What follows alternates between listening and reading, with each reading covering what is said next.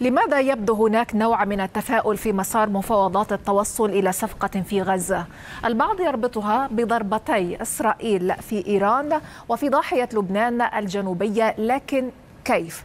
مصادر مطلعة أشارت إلى أن هناك عناصر جديدة دخلت على الخط وهي أن قرار إيران وحزب الله بالرد على الاعتداءات والاغتيالات الإسرائيلية دفع الجميع بالتحرك لمنع الانزلاق نحو حرب إقليمية واسعة بينما توقعت مصادر دبلوماسية أن يبقى الوضع الميداني الراهن بين جنوب لبنان وشمال إسرائيل على حاله تحت قواعد اشتباك غير معلنة لا تذهب نحو إشعال حرب واسعة أيضا تريث في مصير الردين اللذين تتوعد بهما إيران وحزب الله على إسرائيل.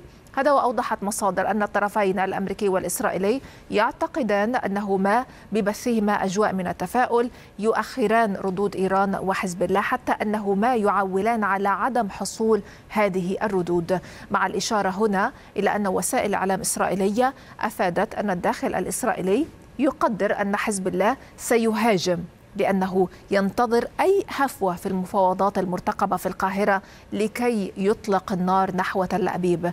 بحسب المصادر ذاتها فسرت آه، بأن الضغط الذي مارسه وزيرا خارجية فرنسا وبريطانيا لإنجاح المفاوضات أصبح يضع لبنان كأولوية مماثلة لأولوية وقف الحرب في غزة.